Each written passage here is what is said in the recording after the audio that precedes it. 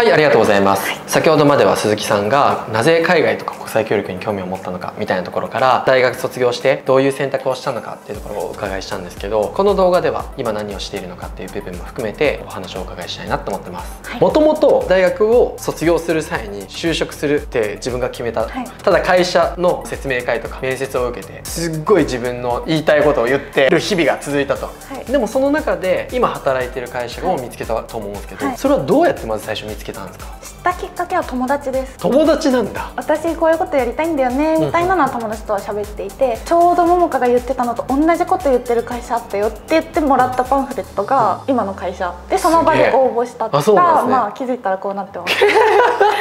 えちなみにその会社はどういうことを言ってたんですか？子が輝く社会みたいなところとか、うんうん、なんか私と同じこと言ってんだけど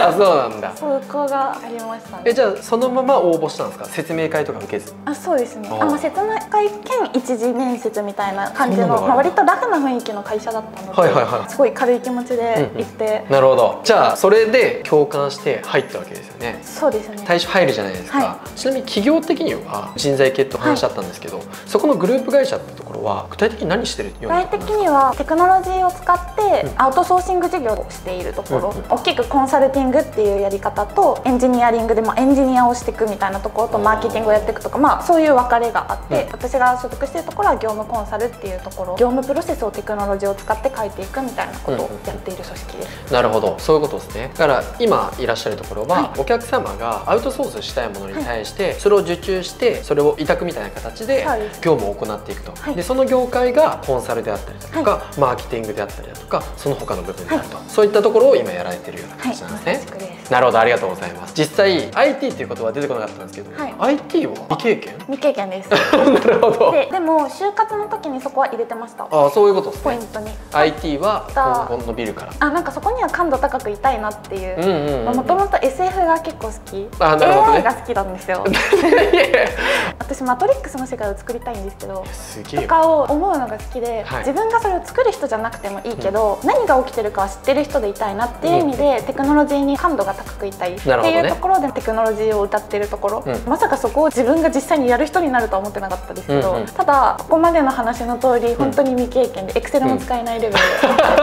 入りました。なるほど。実際入ってみて、まあ、もちろん IT の業界も学ぶじゃないですか、はい、それは浅く広くっていう部分もあるし、うん、データ領域に関しては深くっていう部分もあると思うんですけど、はい、そこってめちゃくちゃしんどいんじゃないかなっていうイメージが僕の中であったんですけど、はい、実際どうだったんですか、めちゃくちゃしんどかったです。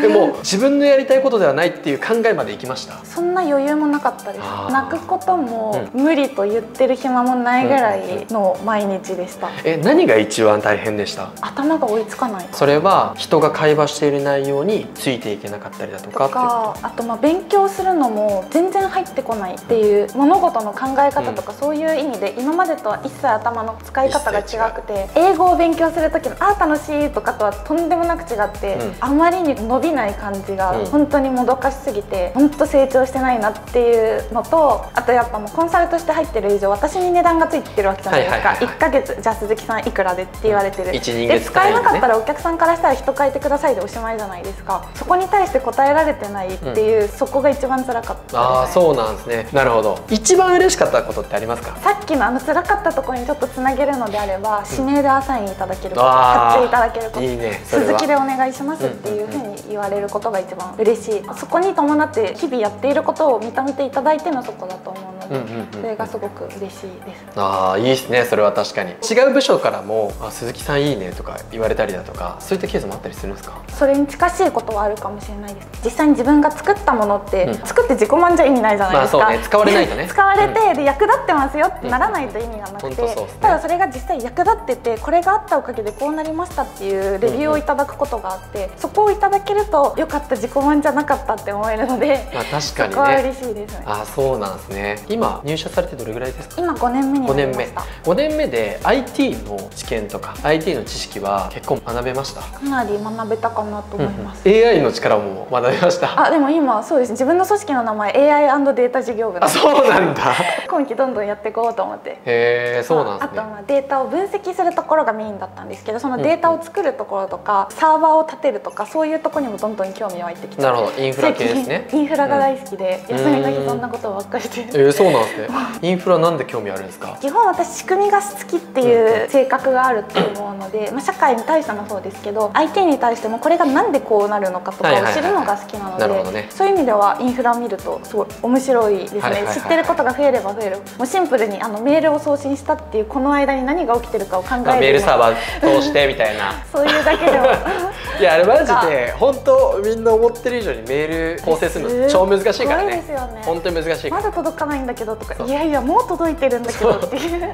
感じとかアクセス数増えた時にどういう設計だったらいいかとか、うん。そういうのを考えるの面白いなああなるほど。そういう観点で言ったら自分で何かやりたいとかはないんですか？ないですね。あそうなんだ。でも仕組みが好きなのであれば、うん。考え方によってはですけど自分が今やってることを横展開して、はい。自分で仕組み化できるんじゃないかとか、うんそういった考え方もあるかなと思ったんですけどそういう感じではないですね。そうですね。うん。新しいのなんか考えていくってタイプよりはあるものを知っていくとかそれをどう使っていくとかを考える方が結構好きかなってはいはいはいはい。ありますなるほど。データコンサルについてはい。もう少し深掘りしたいんですけど、データコンサルってあとデータサイエンティストとか、はい。1年とか2年前ぐらいに流行ったワードあると思うんですけど、はいね。これは違いますか？人によっていろんな定義があるので、うんうんうん。あれなんですけど私の中では違います、あそうなんですね。データコンサルは何？分析に重きを置くか、うん。何を分析するかに重きを置くかかなっていう個人的には思ってます、データサイエンティストは分析の手法に対してプロフェッショナルなので分析の手法に対して。なのではいはい。これを知りたいですに対して高度な手法を使って分析をしていくことができる、なるほどねで私って別にそこの高度な手法って正直できない、ただ何を分析しなきゃいけないかっていうところを定義するところは一番やってきている、うんうんうんなので業務のこの課題に対して何を見なきゃいけなくて何を知らなきゃいけなくてじゃあそのためにはどんな分析が必要でどんなデータが必要でとかそっちを考えるのがメインあなるほどで逆にその先で自分の手を動かしてできない分析があればそこは他の人にやってもらうとか、うんデータを用意してもらうとかをしているなるほどいうような切り分けがあります。そうか。じゃあデータコンサルっていうのはそれいろんな定義あると思いますけどどういうデータが必要なのかとか、はい。まあ、そういう設計から入っていくようなのがデータコンサルのイメージですか？そうですね。でデータサイエンティストはもちろんそこもあるんだけどそこのもう少し深掘りしてこの情報を知りたいとした時にどういうロジックでそれを取っていくのが一番最適かみたいなのをやるっていうのがサイエンティストみたいな。うん。まあ、そこをどんどん広げていってやっていく人材っていうのはやっぱ強いと思うんまあねですけど、よどっちもできる人材はいたらうんそれはいいですよね、なので、うん。まずどこを軸にやっていくかっていうところは違なるほど。うかなありがとうございます。でもう一点ちょっと聞いてみたいんですけどこのデータコンサルってプロジェクトのチームの一員として入ることが多いんですか？どっちのパターンもありうます、鈴木さんの場合はどっちのパターンですか？私の場合は、まあ、あるプロジェクトに対して大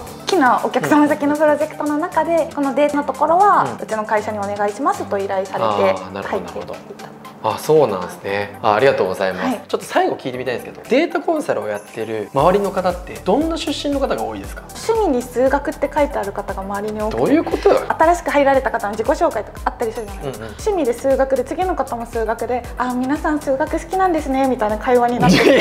でなんかそういうの聞きすぎて、なんか最近は私もなんか数学得意なんじゃないかっていう錯覚を 感じるぐらいえなんて数学が趣味？趣味が趣味が数学が数好きな学ってわ方とかかんないんだよまあ、数学科出身の方とか中途の方だったらエンジニア出身の方とかが周りすごく多くてで現場の仕事とかでも理系の引率のでエンジニアずっとやってる方とかが周りに結構多かったりするどういう会話するのその人たちと？がっつりデータの話とかしてます。あ新しい言語を覚えるとその国の人との会話ができる。まあねあまあね。そういう感覚で毎日新しいこと知って、あの人と喋れるようになりたいみたいなのは結構ありますね。わかる。IT のコンサルとかをしてたら絶対なるんですけどエンジニアは別の言語だからね。日本語じゃないから。話せることが増えるほど楽しくて結構それが日々の楽しさにはなってるなってそうなんだ。なるほどね。でも趣味が数学って書ける人ちょっとすごいね私もそのうち書こうかな。なるほどありがとうございます。はい、じゃあここの動画では鈴木さんが今何やっているのかっていうところをお聞きしたんですけど次の動画ではコンフロントワールドで何しているのかっていうところをお伺いしようかなと思ってます。はい。この動画が面白いなと思ったらぜひグッドボタンとはい。チャンネル登録をよろしくお願いします。はいじゃあ本日はありがとうございました。ありがとうございました